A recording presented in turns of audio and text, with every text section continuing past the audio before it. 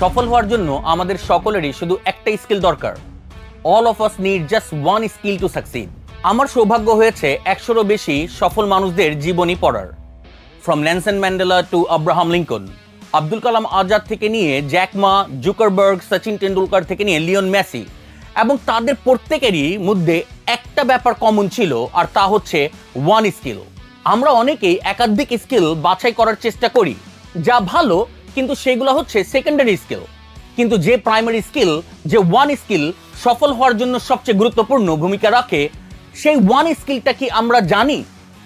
এই ওয়ান স্কিলটা হচ্ছে mother of all skill one skill আপনার জীবনের সাফল্য গল্প নিজেকে গঠন করতে।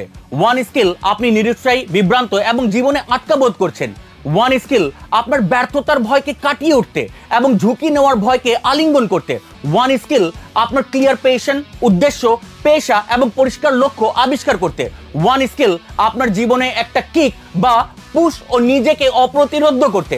ওয়ান স্কিল আপনার স্কুল ইউনিভার্সিটি আপনার কাছ থেকে বহু টাকা নিয়ে নিয়েছে, কিন্তু আপনি এখনও বুঝে উঠতে পারছেন না আপনার কি করা উচিত, আপনার স্বচ্ছতার অভাব। ওয়ান স্কিল আপনি বুঝতে পারবেন কীভাবে আপনি একটা মধ্যবিত্ত ফাতে আটকে আছেন এবং পৃথিবী আপনাকে কীভাবে একটা মধ্যবিত্ত ফাতে আটকে রাখতে চায়। সে ওয়ান স্কিলটা আসলে কি?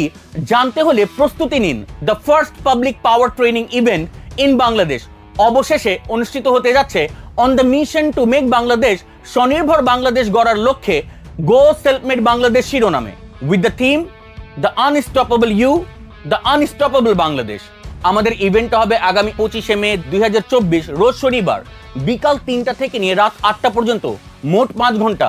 বিশ্ব সাহিত্য কেন্দ্র সবচেয়ে বড় প্রেক্ষাগৃহে। মনে রাখবেন, আপনি স্বনির্ভর হলে স্বনির্ভর হবে বাংলাদেশ। আসন সংখ্যা সীমিত।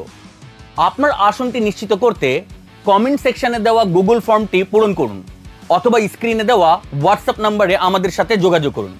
মনে রাখবেন, কোনো লক্ষ্য মানুষের সাহস থেকে বড় হয় না।